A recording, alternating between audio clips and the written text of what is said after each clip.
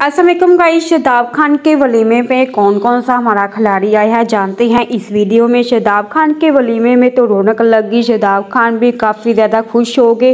बरात वाले दिन ज़रा लग रहा था कि शदाब खान इतने खुश नहीं थे, क्योंकि ज़ाहिर सी बात है कि उनके दोस्त नहीं थे, इस वजह से कमी तो महसूस की ही होगी उन्होंने। जिस तरह हम लोगों ने भी की थी तो वो शदाब खान ने भी कमी महसूस की थी।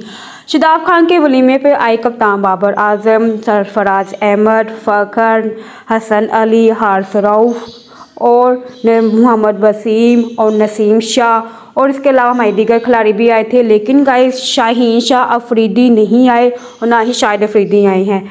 इनके अलावा जो भी हमारे खिलाड़ी हैं, दीगर वो आए थे और काफ़ी ज़्यादा उन्होंने रौनक लगाई और काफ़ी ज़्यादा आपस में हल्ला गुल्ला भी किया। बहुत ज़्यादा फ़नी फ़नी वीडियो हमें नज़र आ रही हैं सोशल अकाउंट पर। यानी कि शिदाब खान के वलीमे पर हमारे सब खिलाड़ियों ने बहुत ज़्यादा इंजॉय किया और आवाम को भी इंजॉय करवाया।